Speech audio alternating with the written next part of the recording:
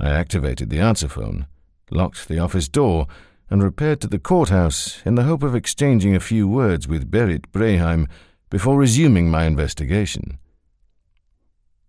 The front of Bergen Courthouse is massive, guarded by the four cardinal sins carved in stone. They subject all those who visit the building to a stern examination, whether charged with a crime or not. Even those who only go there to get married might find it unnerving.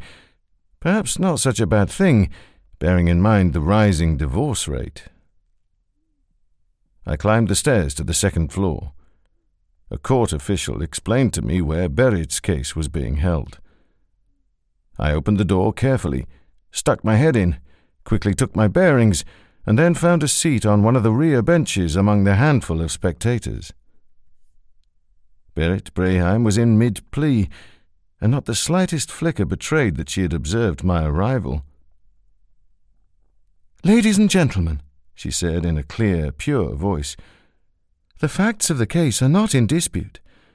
There can be no doubt that the defendant, of her own accord and volition, invited the accused to her home. And she did not invite him only for coffee.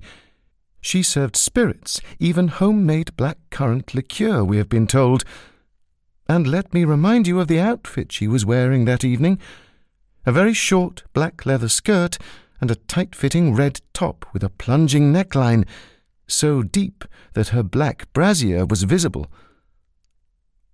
In the dock, the approximately thirty year old man, the corners of his lips extending into a smile, nodded in support. The young male police prosecutor on the opposite side of the room, with a face like a newly qualified theology student, coughed admonishingly and looked at the judge. A female counsel with blonde hair and narrow glasses leaned over to her client and made an inaudible comment.